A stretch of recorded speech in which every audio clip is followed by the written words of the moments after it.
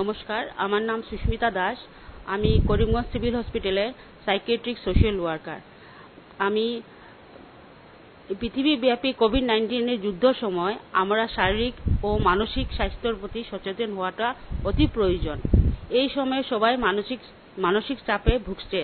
সবাই হয়তো উদ্বিগ্ন এবং অত্যাধিক আতঙ্কিত। কিন্তু অত্যাধিক অত্যাধিক মানসিক চাপে আমাদের জীবনে দৈনন্দিন জীবনে প্রভাব ফেলতে পারে এবং বহু ধরনের মানসিক রোগের লক্ষণসমূহ সৃষ্টি করতে পারে। যেমন হতাশা প্যানিক অ্যাটাক অনিদ্রা এবং অন্যান্য মানসিক রোগের।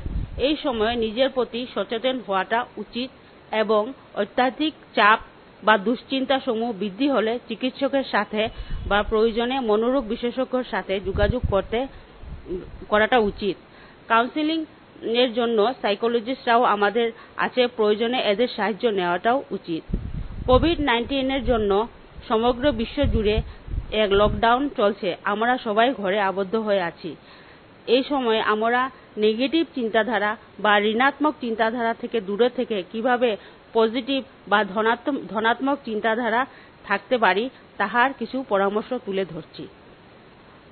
দৈনিক ব্যায়াম করাটা শারীরিক এবং মানসিক স্বাস্থ্য সুস্থ রাখার মূল মন্ত্র। ব্যায়াম শারীরিকভাবে সবল করার সাথে সাথে মনকে সতেজ এবং সক্রিয় রাখতে সাহায্য করে। পুষ্টিকর আহার গ্রহণ করুন, ইহা আমাদের শরীর সবল রাখার সঙ্গে রোগ প্রতিরোধ করার ক্ষমতা প্রদান করে প্রদান করে। যথেষ্ট পরিমাণে জল পান করুন, যাতে আপনার শরীরটা হাইড্রেটেড হয়ে থাকে। দৈনিক দশ থেকে পনেরো মিনিট ধ্যান, যোগ বা ব্যায়াম করাটা উচিত। এতে মন শান্ত এবং ইতিবাচক রাখতে সাহায্য করে। কোয়ারেন্টাইনে থাকা সকলে সময়গুলো নিজের ভালো কাজে লাগান। এই তো মানে বললাম যে মানে যদি অনেকের ভালো লাগা কাজ শিখতে পারে বা নতুন কোনো কাজ, ধরেন একটা রান্না একজন মেলুকে শেখার সময় পায়নি হ্যাঁ এখন তো সময় আছে ফ্রি সময় আছে, তখন নিজের ভালো লাগা কাজগুলো করা উচিত। আর বেশি সময় টিভি বা নিউজ যেগুলো অ্যাভয়েড করা উচিত স্পেশালি বয়স্কদের নিউজ থেকে দূরে রাখা উচিত। আর বাচ্চা, এখন তো অনেক সময় বাচ্চারা, বাচ্চাদেরকে টাইম দিন, পরিবারকে টাইম দিন, সময়টা পজিটিভ কাজে লাগান। না, আমরা, আমাদের ব্যাপারে মানে আমরা তো এখানে কাউন্সিলিং করি ওপিডিতে এরকম মানে স্ট্রেস পাইনি। দুই একটা কেস পেয়েছি যারা ধরুন হোম কোয়ারেন্টাইনে আছে, একা আছে, একা রুমে আবদ্ধ হয়ে আছে। তখন এক দুজন পেশেন্ট এরকম পেয়েছি যে ওরা স্ট্রেস মানে খুব টেনশন হয়তো বা ওদের কোভিড নাইন্টিন হয়ে গেছে এরকম চিন্তাধারা। তখন আমরা যাই স্পটে গিয়ে কাউন্সিলিং করি এবং সাকসেসফুলও হই বা লোকটাকে বোঝানোর আমরা চেষ্টা করি। হ্যাঁ এটা মানে আমাদের তখন একটা এটা তো একটা প্যান্ডেমিক সিচুয়েশন এটা হয়ে যায়। আমরা মনে করি যে জ্বর হয়েছে হয়তো আমার করোনা হয়ে গেছে বা কোভিড নাইন্টিন হয়ে গেছে। এটা মানে চিন্তাটা যদি আপনারা অন্যদিকে লাগান মানে জ্বর হয়েছে, আপনারা যদি লাইটলি নিতে পারেন হ্যাঁ তখন জিনিসটা মানে পজিটিভ সাইডে রাখবেন। নেগেটিভ সাইড না, জ্বর তো সবাইরও হতে পারে। এটা নর্মাল ফ্লু ভাইরাসও হতে পারে। তাহলে করোনা তো আমরা টেস্ট করলে পরে আমরা জানতে পারি করোনা তার আগে আমরা চিন্তাধারাটা স্ট্রং রাখতে লাগবে, মনকে শক্তি, শক্তিশালী করতে হবে, যাতে জ্বর সবার হয়, আরও দশজনের হয়েছে, আমারও হতে পারে। করোনা নাও হতে পারে, হতেও পারে। টেস্ট করলে আমরা জানব।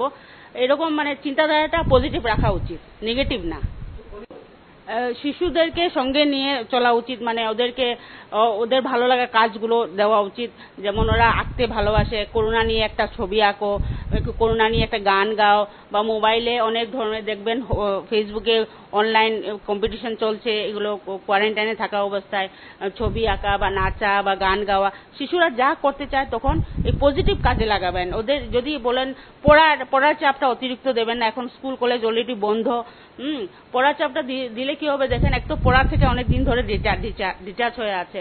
তারপরে এখন একটা সবের একটা সাইকোলজিক্যাল একটা প্রেশার মানসিকভাবে একটা মানে একটা এমন একটা পরিস্থিতিতে মানে যেদিকে যাবেন ভালো লাগবে না। বা রাস্তায় বেরোলে আপনার ভালো লাগবে না, রাস্তায় মানুষ নেই, লোক নেই গাড়ি ঘোড়া নেই আপনার নিজেরই ভালো লাগবে না। ওই সময় মানে ওরা যা ভালো লাগে ওই কাজে ওদেরকে ইনভলভ করান। কিশোর কিশোররা তো ওদের একটা স্বাভাবিক একটা বন্ধুদের থেকে একটু দূরে চলে গেছে ডিটাচমেন্ট হয়ে গেছে। হুম, তো কিশোর কিশোরদের তা, ওদের তো ফোন আছে, ওরা তো ফোন ইউজ করছে। ওই ওই ওই বন্ধুদের সাথে কানেক্ট করার তো ফোন একমাত্র মাধ্যম। ওই মানে ওদেরকে এইভাবেই মানে বলব ফোনের সাথে কানেক্ট হয়ে থাকা সোশ্যাল ডিস্টেন্সিংটা মেনটেন করা ওদের মাস্ট কেননা কিশোর করি, কিশোরী এমন একটা এজ মানে দেখলেই তো হ্যালো বন্ধু হাই বন্ধু করে আলিঙ্গন করা, এসব একটু দূরে থাকা উচিত। আর আমি ওদেরকে পরামর্শ দেব, যত পারো ঘরে থাক- ওরা, থাকাটা উচিত এবং ফোন দিয়ে ওদের সঙ্গে মানে ওদের যোগাযোগ করাটা উচিত। বৃদ্ধদের ক্ষেত্রে দেখুন, বৃদ্ধ লোকরাই বেশি এফেক্টেড হচ্ছে এই করোনা ভাইরাস করোনা ভাইরাস।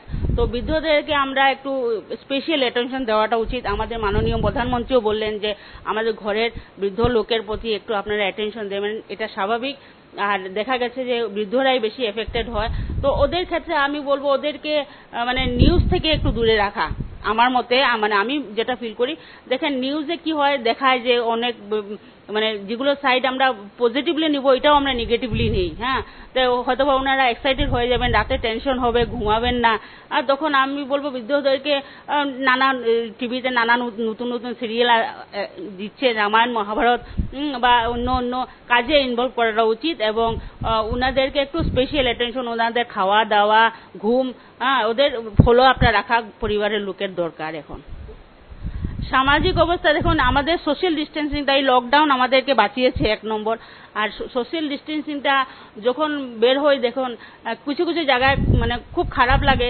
ব্যাংকে লোকরা অনেকেই লকডাউনে ক্ষতিগ্রস্ত, সবাই ক্ষতিগ্রস্ত আর গরিবরা তো স্পেশালি স্বাভাবিকভাবে টাকা নিতে আসবে। কিন্তু সোশ্যাল ডিস্টেন্সিং টা খুব কম মেনটেন করা হচ্ছে বা বাজারে টাজারে সকালবেলা যখন এইসব মেনটেন করা হচ্ছে না, তখন মানে আমি একটু নিজেই আতঙ্কগ্রস্ত হয়ে যাই।